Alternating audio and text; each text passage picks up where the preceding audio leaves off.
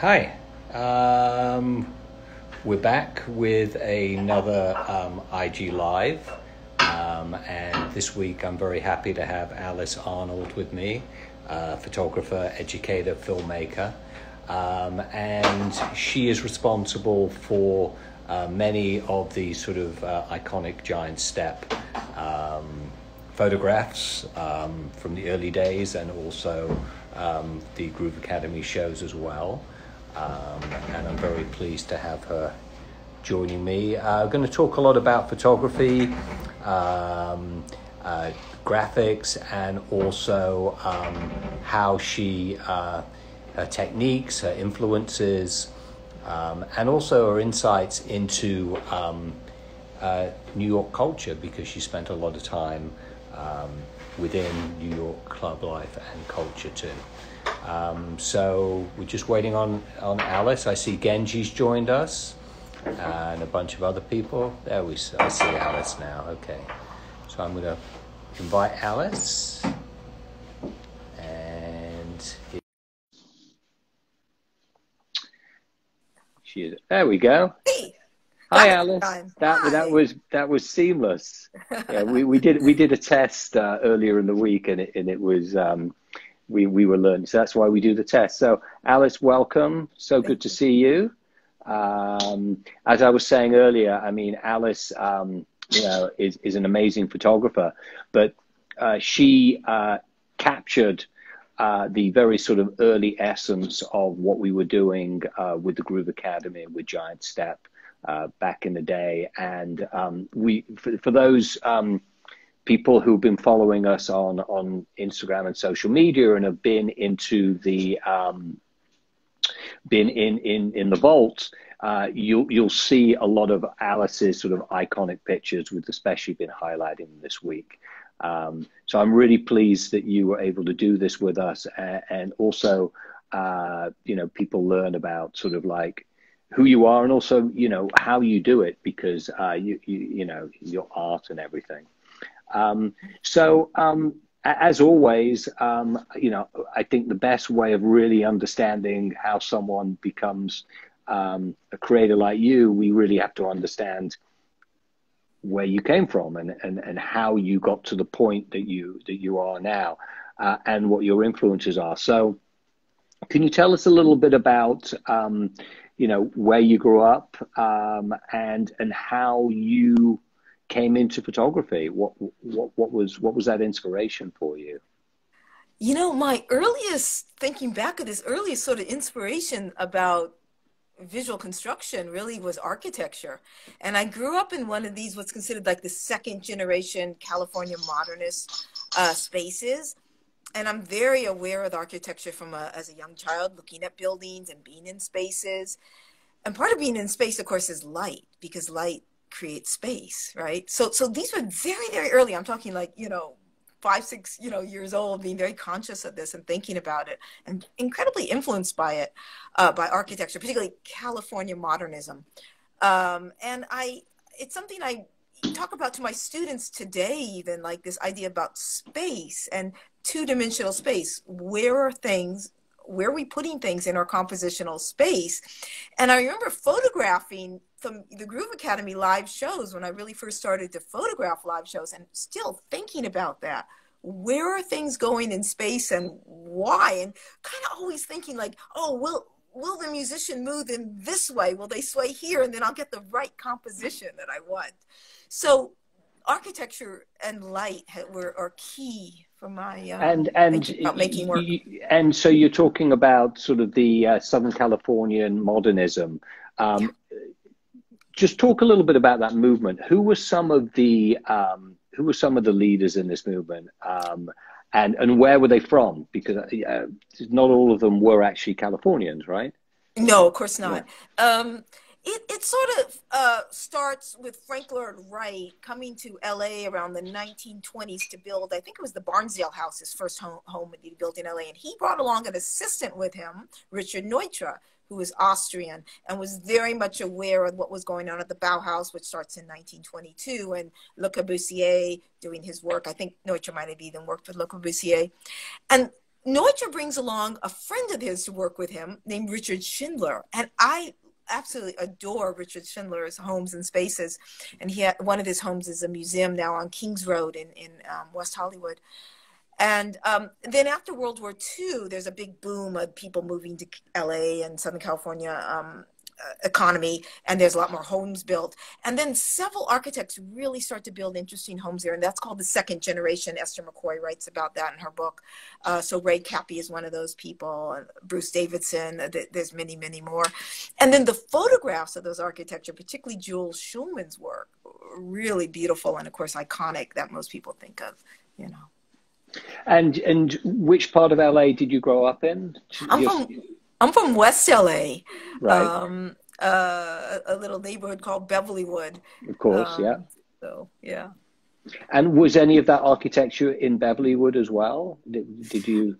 Uh, not, not, I would say so much. I mean, I grew up um, first at the on the edge of Beverlywood and in a building that my father had built that was architecturally significant. Um, Rex Lotery was the architect, and um, so yeah, I grew up kind of in these spaces that was very interesting to me about light and and, and spatial, uh, a way of forming spatial dimension. I find that a complexity in them. Uh, and, and, that, and how old were you when you picked up your first camera?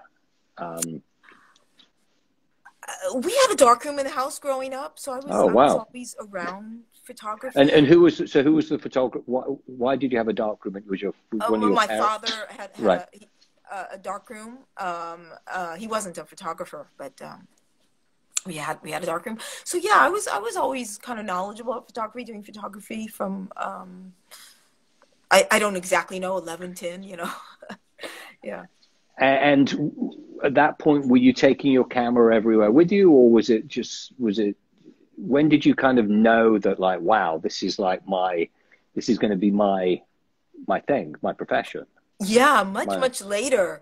Um, I um, I was uh, at UCLA studying history, and I took some time off, and I went to London, and I just had time, and i had my camera with me, and I I was really then became interested in thinking about photography. Is this a path I could do? And then when I returned to LA to finish school at UCLA, I started working for a photographer um, Leon Lacache, who um, did a lot of music and fashion and different things. So I was I was working a, as a, in a photo studio from like 18 on, and and a student, and um, really learning the ropes. Yeah.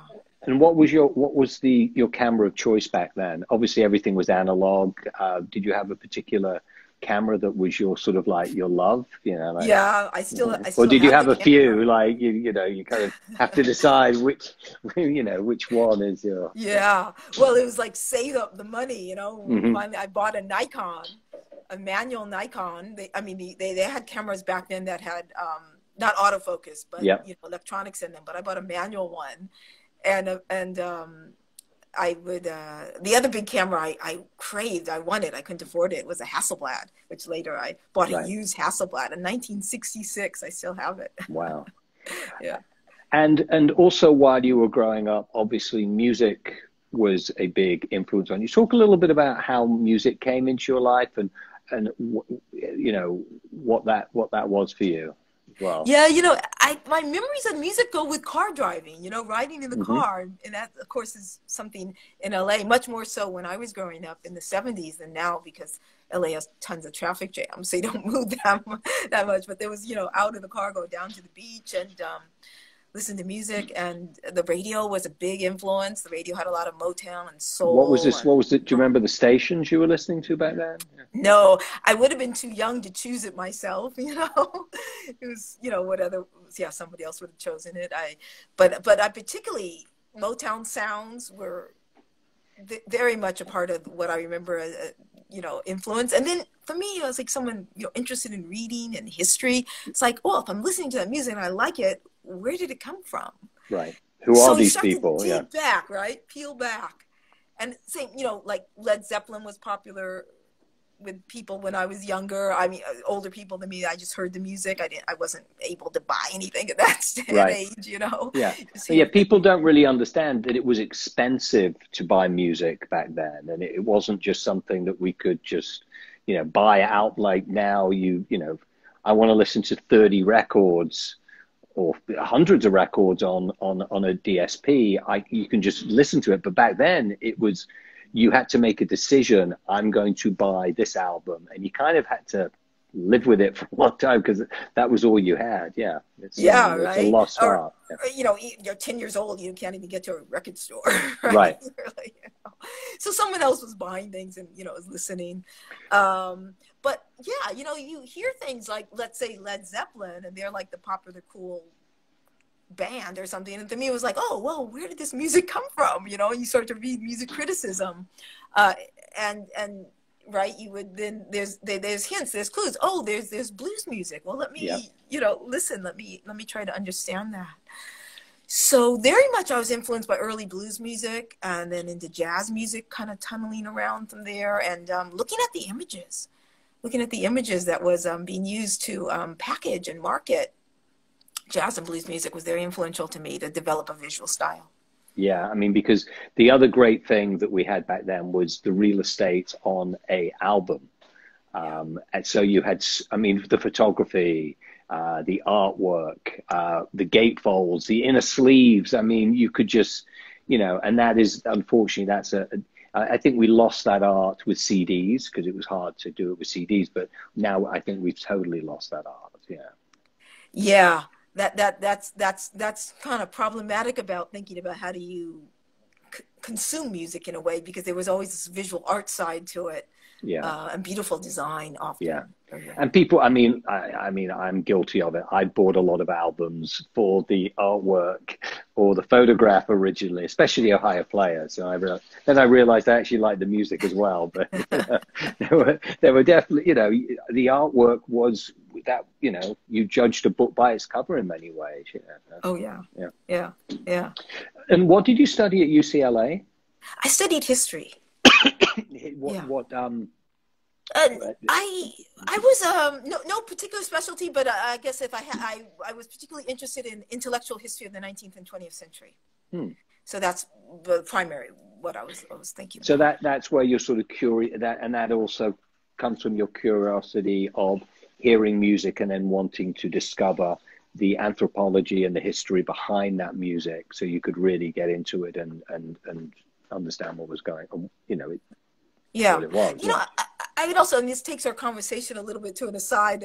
That's but, fine. Um, I, I, was very interested in mo- modernity and modernism, mm-hmm. and I and I still am. And you know, but in, by the '80s, of course, it was such a postmodern world. I felt a little bit out of sorts. But but but those roots of the 19, later 19th century, or even into the 19th, leading into the 20th century, very interesting to me and, and, on a design level too because the bauhaus again is starting in 1922 yeah and that's very much the modernity that's thought about modernism and and of course it you know by the 1960s 1970s it's sort of maybe worn out of course and then the idea of postmodernism develops in architecture yeah. and you know television and other other fields but but that sort of intellectual strain you can say from hegel and kant you know mm-hmm. leading leading forward is very very big influence on me and and, and from from UCLA, um, again, you, at that point, you weren't thinking, "I'm going to become a photographer." I, I presume I might be wrong. Um, what? How did you? Because we met in. How did you end up in New York? I mean, what was what was the reason to bring you to New York? Well, I, I did start working as a photographer and trying to get on that path while I was still a, UCLA student, even though I was studying something very different. Um, and uh, I just, you know, after I, I I'd been an assistant. I worked on all sorts of interesting things, traveled around. You know, there was a cool club scene in LA also. Um, there was a great club called Flaming Colossus. And we had friends who were musicians there and we would be like dancers with them. And so there was fun things happening there too. But I, I wanted to start a career in, as a photographer and I thought my options would be better in New York, where there was actually music I was really interested in because I started to hear some rap music. Um, and I just found and the, the, the song I heard, it might have been on radio, um, was a, a, a mix, a beat by Mark 45 King. And I really liked it. And of course, why did I like it? Well, it had James Brown in it, you know, and the JBs were there, and there, mm-hmm. you know. And I found it was really interesting. So sort of was chasing that music a little bit, coming to New York, and um, wanting wanting to photograph um, in, around music business more. LA at the time was very more maybe established music, but also very um, film. A sportswear yeah. fashion yeah. at that mm-hmm. time, and I, I wasn't going to be a fashion photographer. I, I just had no interest in it. So, so what what year did you come to New York? 1990. 1990, which is the year that we started. The summer of 19 June 1990 was when the Groove Academy started, and uh, September 1990 was when Giant Step started.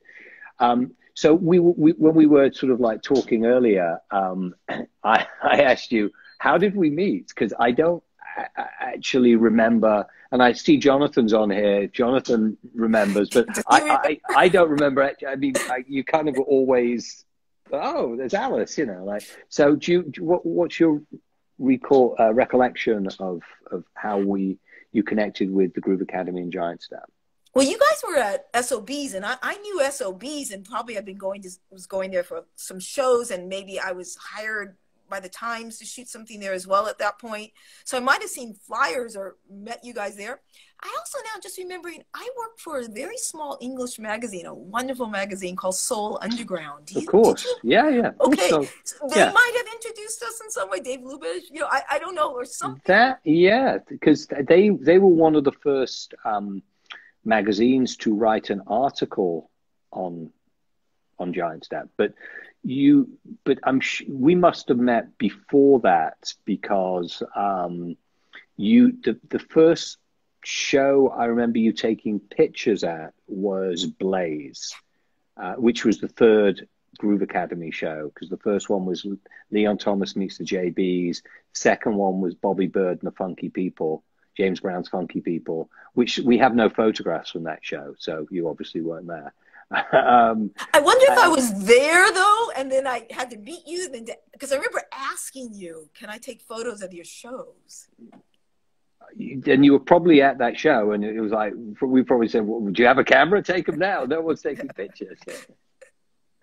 Yeah. So, so the first show was Blaze, which was in August of 1990, um, and um, actually those those pictures are on the um, uh, in, in, the vault. Uh, they're beautiful pictures of Blaze, and one of the very rare shows Blaze ever did uh, live.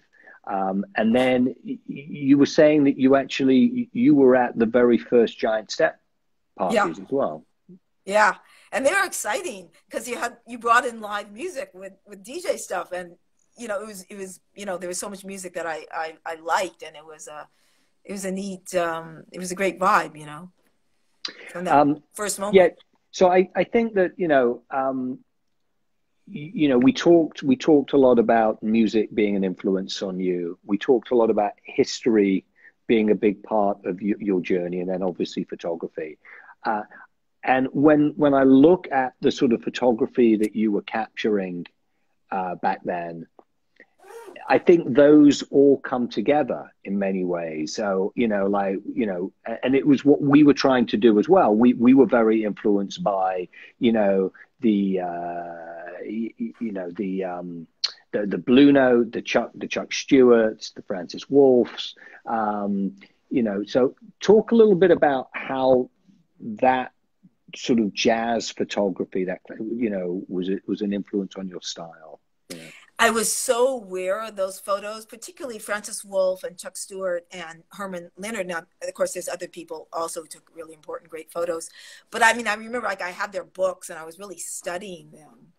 And they, I just thought they were beautiful images that they also spoke something about that music. So we can talk about, you know, visual music.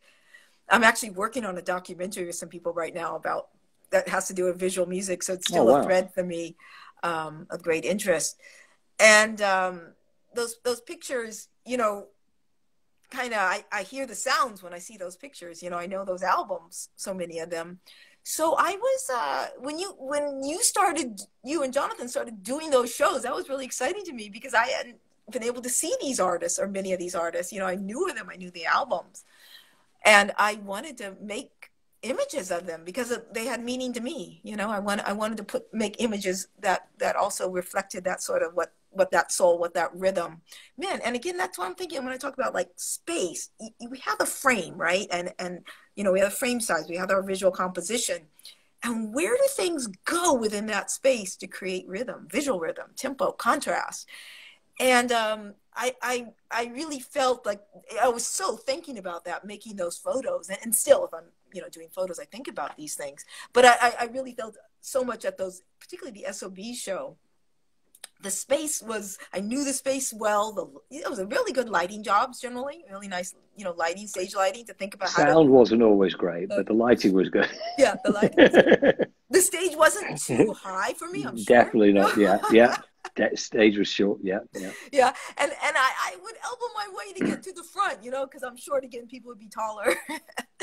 And um found my spots found my angles you know and and I, I, I was always trying to use the lights that were there and the positioning of where people were on stage and thinking about you know how how are people moving and swaying and trying to create some visual rhythm that that um, reflected or responded to what I was hearing and and I just had such reverence for you know the music.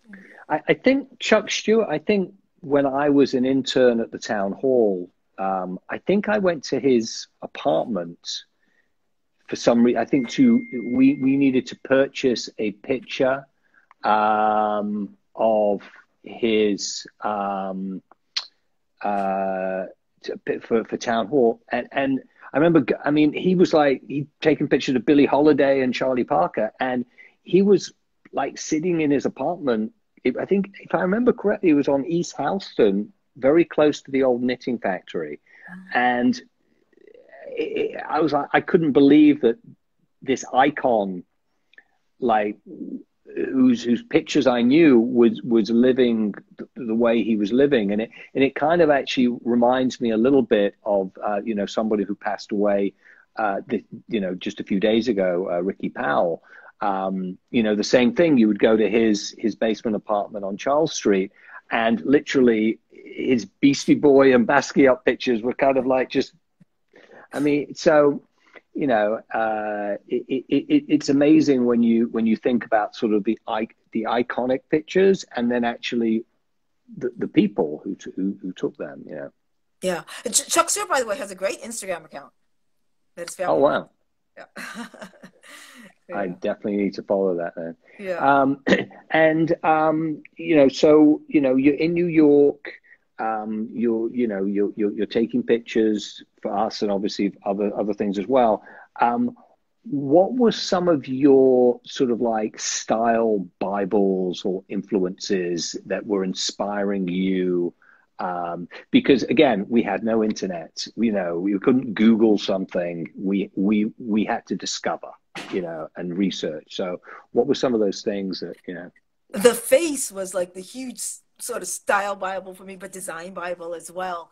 Um, magazines are really important um, in ways maybe they're not as much now. But I then you say why why move to New York from LA? Like the magazines, the publishing industry is here in New York uh, for the for the United States. So there were magazines here. Um, you know where I wanted to work for, um, be involved with, and but the face, of course, is, is English. Was in London, but I was looking at the face from LA days and so inspired by the design.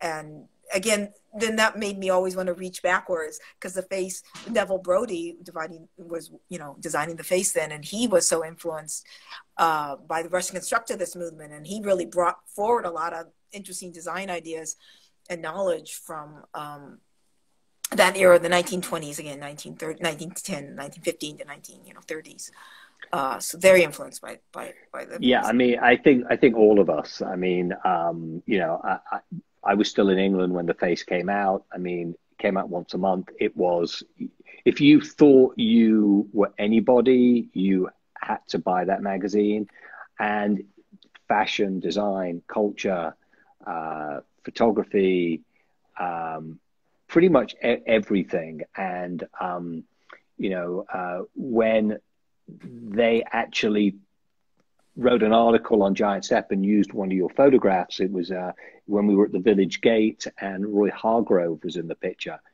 I mean, at that point, I was like, well, we, we can we can retire now. I mean, that's it. We were been in the face. We don't need to do anything else. Unfortunately, it wasn't the case. But you know, that's how uh, important that magazine was to anybody who had any, um, you know, who, thought they were any in any way part of culture.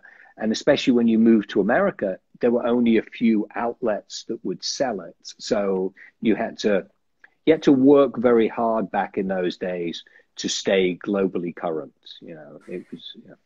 yeah, I remember hanging out in Tower Records where they had the magazine section. Yep. I, yep. I couldn't afford to buy it. Yeah, I'm just like, like going through, like, where do you to go? Uh, are you going to buy that? Yeah, of course. It's like, yeah.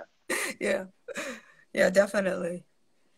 Um, so, so I mean, um, you know, you were shooting our Groove Academy shows. Um, you know, some of the most iconic ones. That, you know, with the, the Bootsy Collins pictures you took are incredible.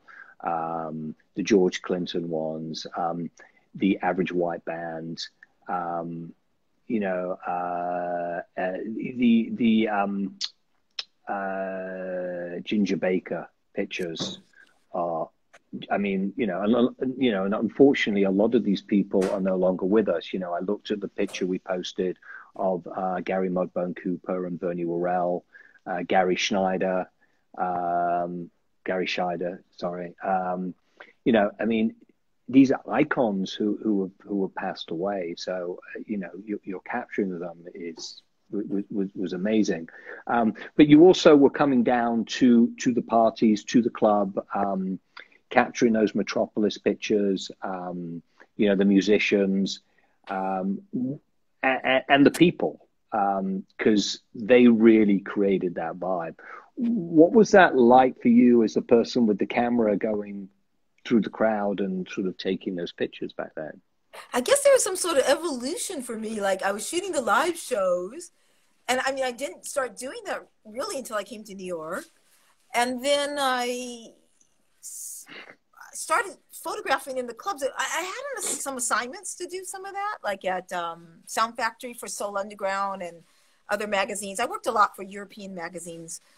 Um, you did the, the straight no chaser pictures, the iconic straight no chaser pictures. Yeah. yeah.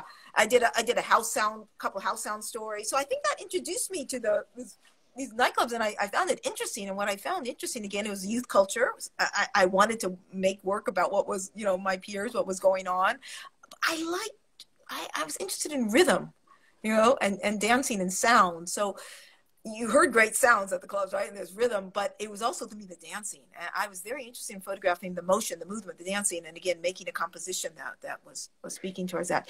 So um, I guess yeah, when you when you guys started doing Giant Step, I wanted to photograph down there as well, and then. I started working for Paper Magazine, photographing their nightlife columns and also the DJ columns and other things. Did a lot of work with paper. But those nightlife columns really kept me working the beat. I mean, I worked in the day too, and then I was out at night photographing quite a bit, all sorts of clubs all over New York. Uh, it, it, it's very, I mean, again, I'm not a photographer, but um, you've got people dancing, great movements, but it's very, it's a, it's a very hard um, skill to capture that, to, to capture the, the energy of the movement in a still.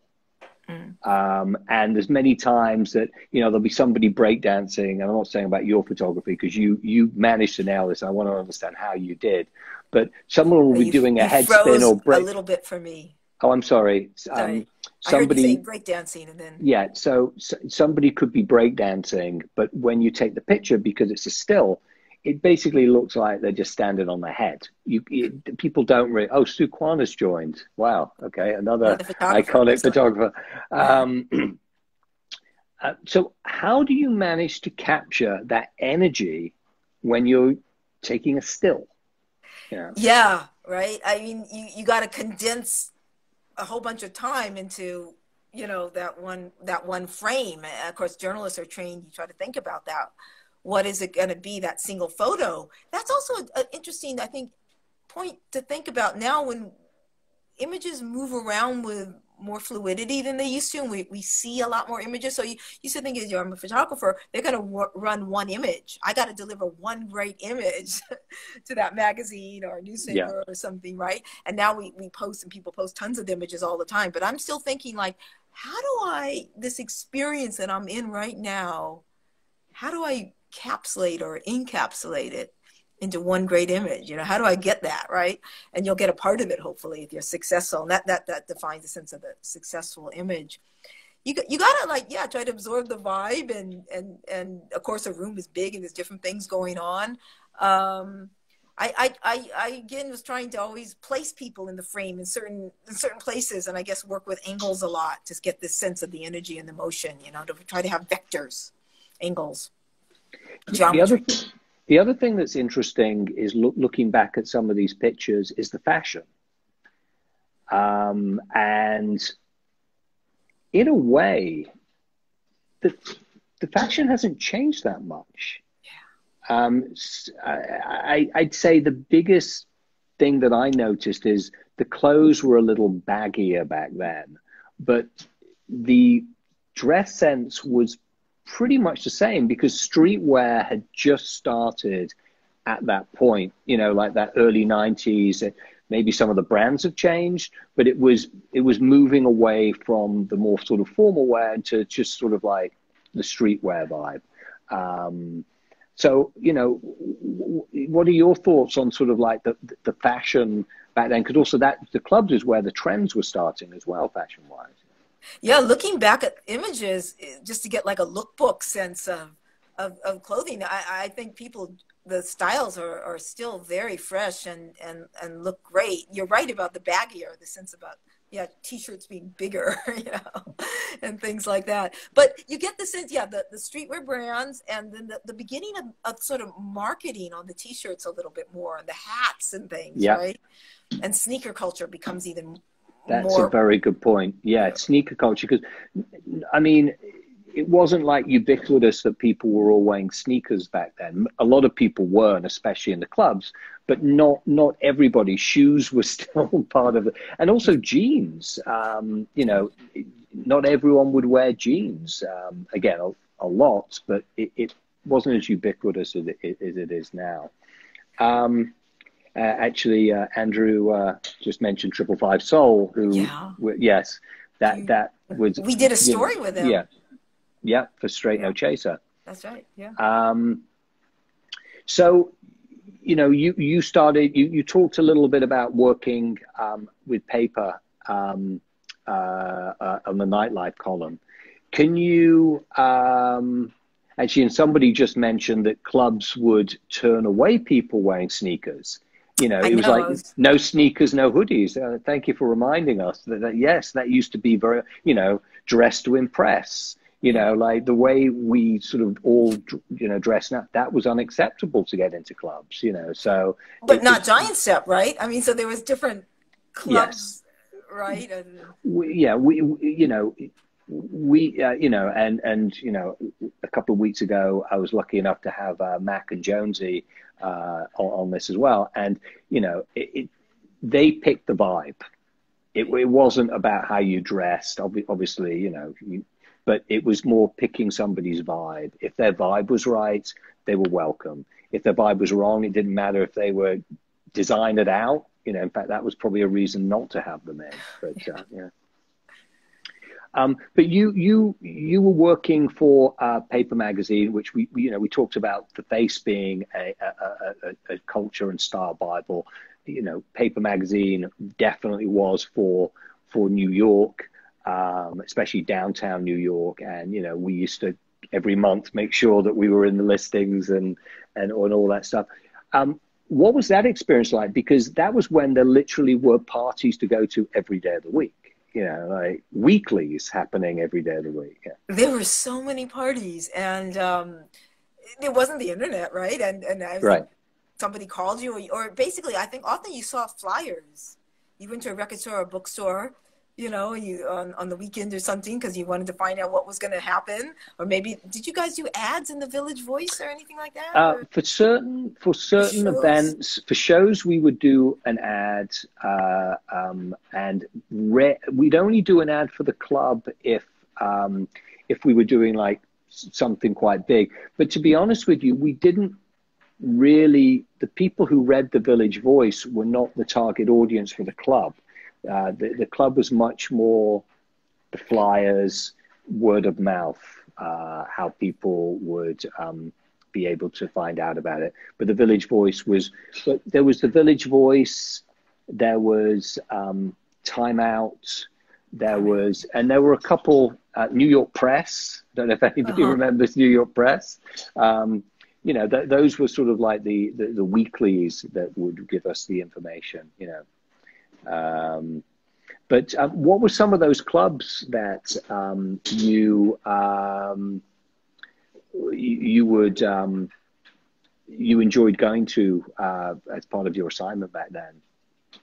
Sometimes I went on my own that I knew of something, or a friend asked me to go to a club and photograph. And sometimes I was assigned through paper, the editors at Paper Magazine, and I went to a wide variety of things. And I liked, I, I liked to just these different scenes and the different fashions you would see and the different types of music. And the '90s had a really rich musical. Um, amalgam happening because there were house parties and house music and then um, you split off, you know, Deep House and right, and there was like soul and groove stuff, you guys, and Soul Kitchen and soap parties and other parties, and then there were, um, I guess, I don't know if you someone maybe more knowledgeable to speak about like how did techno really start? How much it broke off from house and other forms of electronica? And then techno starts to fragment you know into all, different sorts of music. And of course mac then starts the concrete jungle club. Yep. So there, Drum there were bass, yeah. a lot of different scenes, and it's amazing. New York supported all these different scenes on different nights. There's so much, I, and I look back at my rolls of film, which I'm scanning now for a book project, and it's like half the roll might be on one club, and then there's some on another. you know, I was just probably just running around trying to get as much as possible into one night. Um, and then the then the rave culture um, started in the sort of like the which which I, I felt brought in a much younger audience. Um, you know that that brought that that brought younger people to to club culture. Um, and um, you know, one of the comments I just seen, which which I totally agree with, there was a lot of crossover back then as well, um, where you would. I mean, I think a perfect example of that is the Jungle Brothers "Girl I'll House You," where they were a hip hop band doing a house song. And back then, there was, you know, hip hop, we're going to house clubs, house club, you know, it, you know, DJs were playing together. Uh, it wasn't until I think sort of like later on in the 90s that things became a lot more sort of separated and these sort of like real distinct genres came came about. Yeah. It's like there, there was like the house clubs were really strong and powerful dancing. I and I, I always really appreciated that, and people who really were just dancing all night. And then what I always loved the giant step was that there were some live elements and live music that that came with it, um, and people. So there was there was just a just a really rich experience that felt creative. I mean, it, it for me it wasn't. Um, about debauchery and you know getting I was I needed to be very much in control of photo taking and being able to be yeah. sharp and focused right? But um but there there was uh it was a it was a great you you met your peers. There was a creative feeling yeah. uh, in the clubs that these are your spaces um to but I, and I think you know that that goes back to the fact that in order for you to know about these things, you had to have some sort of a thirst for knowledge in culture, in music, in creativity. It wasn't just, again, Google it and you'll find it. You had to dig pretty deep. Uh, and, you know, that goes back to the music. In order to be a DJ, you couldn't just say, oh, I, I'm a DJ, you know, because I, you know, I downloaded all this music. You needed to own the records to begin with. You know, you needed to have those rare songs. you needed to maybe create those songs yourself. So you had to work so much harder, not only to be in the industry, but also to go to these things as well. And I think that's why, um, you know, you were able to, um, you know, get the sort of people who came because they, they were special in themselves. The audience was very special because they were they they were thirsty for knowledge. Yeah. Yeah, yeah, definitely. That's a, that's a, a great way to put it. Um, I, I, didn't think of that so much before, but it is there was a curation to it, of yeah. course, that you would have as someone who was promoting these clubs, creating these spaces and these experiences. And yeah, how did people find them? You know, certainly very different from from today. Though I I teach college kids and they go out to clubs and spaces and they consume music and you know they're passionate about about different things too. Yeah yeah as, as they should be. I mean because I, I i i'm not a believer in in sort of back in the day conversations. Um and i think things are you know the time is now the you know but there is a difference in how you dis- I, I think discovery is different to what it was. Um, that that's the, the biggest difference. Um, and it, it's now it's a lot more egalitarian. Um, you know, anybody can do it. Back then, if you didn't know, you just didn't know, and you lived a life just not knowing. You know, you would literally, you know, you, in in New York City, there were people who didn't know anything about the underground club scene or you know um, you know the it, a lot of it was driven by the um, LB, LBGTQ community um, you know African American Latino uh, and then you'd sort of have on the fringe sort of like a few Europeans you had your Japanese and you had your inquisitive Americans you know, and and that and then everybody else just they just didn't know about it because it wasn't it wasn't nowhere near the mainstream. Yeah, yeah I mean, underground culture is always very interesting when you're a part of that scene, right? It, yeah. it's, it's small and it, it, tends to be a hothouse, right? Uh, uh, uh, people very very vibrant and, and, and have similar similar ideas, and a lot comes out of it. I, I, I think that's that sort of history is always interesting you know and and you can go back to cabaret culture or the Dadaists in zurich you know and, mm-hmm. and, and, and, take different cities at different time periods and there's these underground sort of hothouse scenes of, of people you know um, hanging out doing things so talk a little bit about sort of like what you've been some of the stuff that you've been doing because you you you lived in hong kong you you're teaching you've been making films you know so let, let's hear a little bit about your, um, you know, your journey as well. Yeah, I, I, I worked as a commercial photographer in New York City till about two, early 2000s. And then I just stopped. I just stopped my, my photo business, not, not stopped being doing photography work. Uh, photography, you know, is very meaningful to me. But um, I, I went to graduate school and I, I kind of refocused to make. Um, and where did you, you went to graduate school in New York, right? Yeah, I went to yeah. a program called uh, Integrated Media Arts at Hunter College. Uh, very nice MFA program, and um, from there, also starting to teach and and um, just work on uh, things that were longer form. You know, because with doc film, you spend longer on it, and, and you have this component of research that I really enjoy and more images, right? It's not the single shot that you're trying to tell the story in the single shot. Um, and, and, the whole editing process is so intricate and, and, fascinating. And again, it's about rhythm. So yeah, I started doing more doc films based on uh, looking at the, but similar ideas about the urban environment and um, visual culture. So yeah, that's been doing a lot of that work and um, yeah, I was in Hong Kong and different cities, and but you know, a lot and here how, how. What was it like living in in Hong Kong? Hong Kong is a really unique city. It's kind of sad right now what's happening to people in Hong Kong. So I'm following that news, and I know people there. Um, there's an whole independent media scene there. There's a great art scene there and design scene. Um, I didn't find it as much music as, as New York. Well, New York is a great music town, you know. Right. Um, but the, but the city itself is, is is just spatially very interesting. You know, it's this island, and then uh, the other part of the, the um, Kowloon and the New Territories, and you know the, inter, the interrelation. of me. I'll take the the boat, the Star Ferry across is always lovely. Um, but it, it's a very visual culture, and that, that's why I was there to study and, and, talk a little bit about the documentary that you that you've been making, because I think you know that on a visual side is a very interesting topic that you've been working on. Yeah. Oh, I'm actually I'm working on several documentaries. Okay, right well, go ahead. Yeah. um, overloaded with projects, but I think the one I mentioned that you're thinking of is uh, I'm just I'm not um I'm not the driver of it. I'm not I'm not the director. It's on um, Joshua White's um, light show. And, and so it's about visual music, um, and that's a '60s scene. So we're going back to this origins almost of, oh, of the, sort visuals of the, with the, rock music. With music. So, so where was he doing those lights? Was he doing them at the Fillmore or? Yes, yes, yeah. the Fillmore East.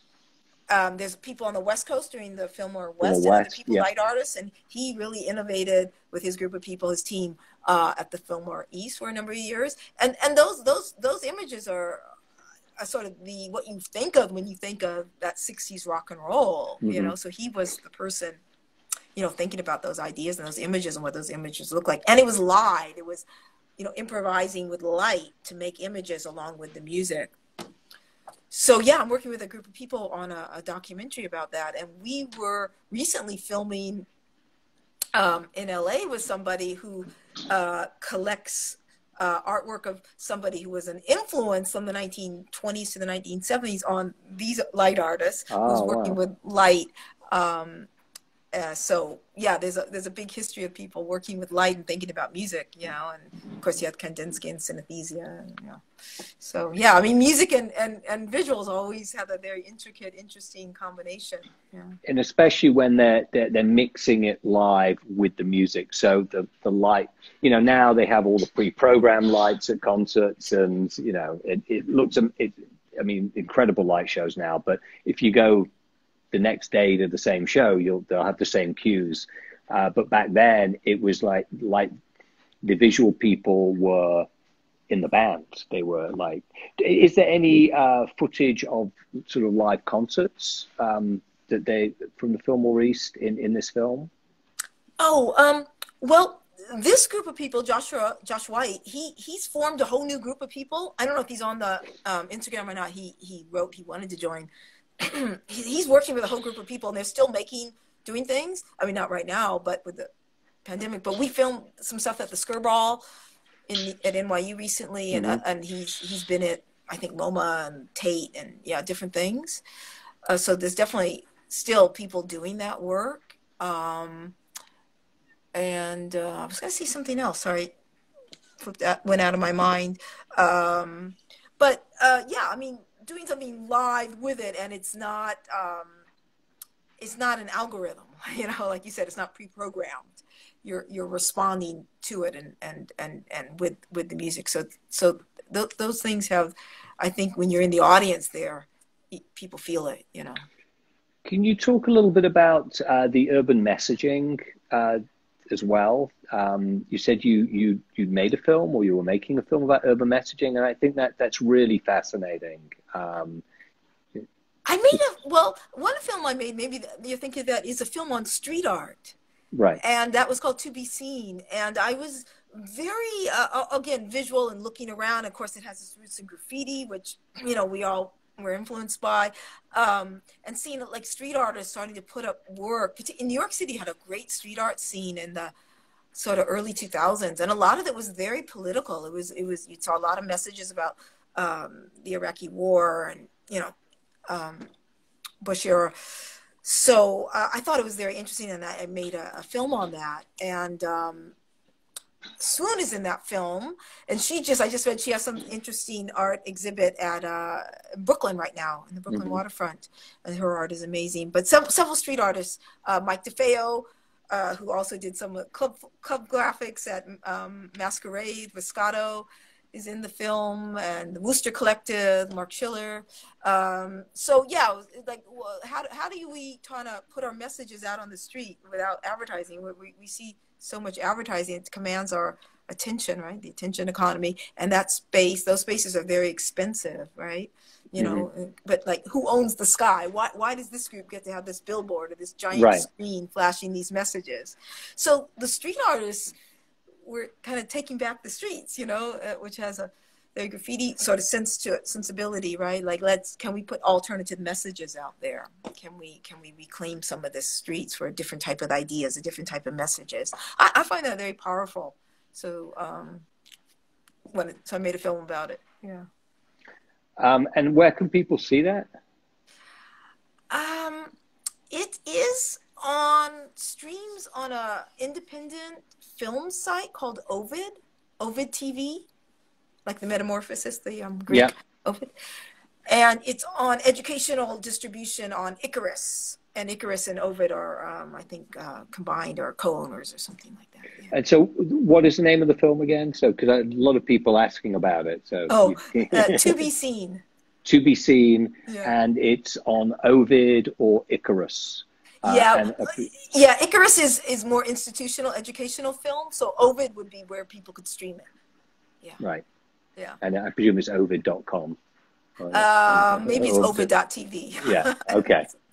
excellent. Yeah. Excellent. Yeah. Um, so um, we're, we're, we're almost running out of time. Where, where do you see your field going? Uh, because digital is now uh, such a big part of, of, of your art, of photography.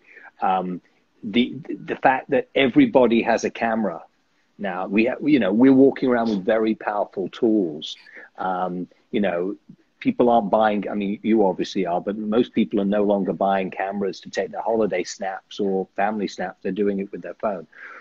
Where do you see um, this discipline going with with with all this innovation uh, and the sort of the democratization of it as well? Yeah, such a brilliant um, thing to discuss and talk about it's bigger than the space we have here. I mean, but the, the phone itself, that its pocket, that's that small size and, and creates really great images, most phones, uh, is like a wonderful sketchbook. So the more I think that we use our eyes and we're looking and we try to think what makes a good image, where should, again, where should things be in the, in the screen space and why in the frame, what, what's in it, what's not in it, what do you want to say? I mean, if you could take that approach to taking your pictures, to me, that'd be great what I see a lot, of course, is just random, just quick shots. And and so I, I think there's a responsibility if you're going to make images. And that that often we don't maybe see as much because it becomes so easy to take the image right? You just yep. push that little button. So so i think there needs to be visual education for people right to think about absolutely. what, what do you want to say with this image? What what should you be saying with this image? And and and we have almost too many images. So yep. that's that's this our problem with our attention economy uh, we're, our eyes are in demand, right? And um, we're, we're bombarded with images, mainly advertising, commercial images, commercial mm-hmm. messages. So that's something, of course, I focus on in my my academic work. Uh, how, how do you create other sort of images? How do you get people to consume and think about and other images that aren't just about something that you should buy or you should eat? You know, because images are powerful. Mm-hmm. Oh, I mean, I, I, mean, a picture. You know, to to use a, a you know a cliche, a, a picture paints a thousand words. You know, um, capturing that magical moment is so powerful, but so hard. Yeah. You know? Yeah.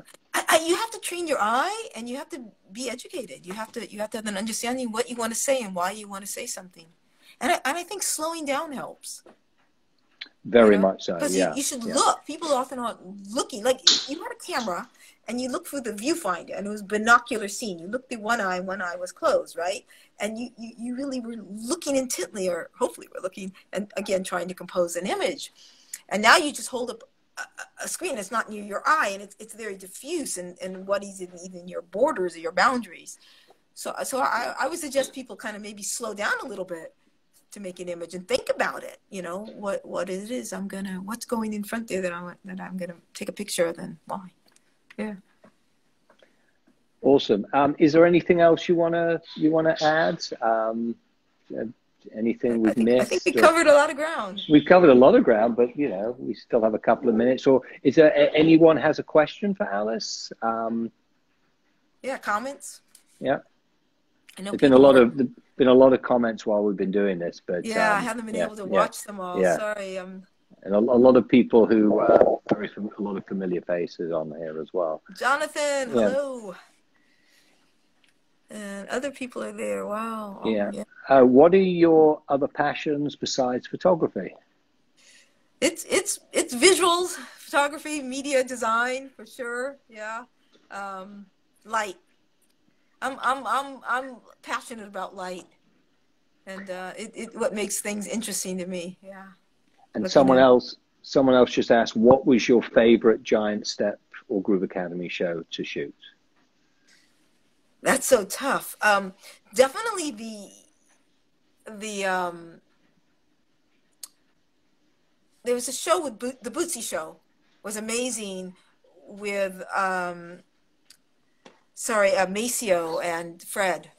That that that was truly, uh, and I love Maceo and Fred, and I, I photographed them before in another uh, another job, so that was truly great. The the George Clinton show at the Ritz was tremendous. That, uh, that was like a big, big show, right? But that that also that went on for so long, and yeah, I think as, as they all did, yeah, yeah, yeah, yeah. So th- those two really stand out in, in my in my mind. Um, not that there weren't other ones that were just totally great. The Ginger Baker one was was truly amazing. Yeah, and I'd al- I'd also add um, you you shot at the Red Hot and Cool, right? Yes, yes. That was pretty. Uh, that was pretty incredible. Uh, yeah. Smash and, and, backstage at the recording at the rehearsal too. Uh, I mean, yeah, we want to see those bits. We want. I haven't no, scanned those images yet. We want to see those. Yeah. Um, and uh, Smash asked the question: Did you ever take any video footage when you were photographer? No. No, totally. Still, yeah. video didn't interest me um, until much later. It got better quality, and I wasn't thinking about sequencing the, the, the the image is moving. I was really so concentrated on that single image. But um, I have a lot of photos of Smash, so I got to start scanning those. yeah. So, um, Alice, uh, we, we, we're pretty much out of time. Uh, thank you for joining us. I mean, your your images are, you know, not just the stuff you did with us, but in general, iconic. You're a true artist, and I'm I'm really proud that you we we have a connection, and we we have those moments that we can keep.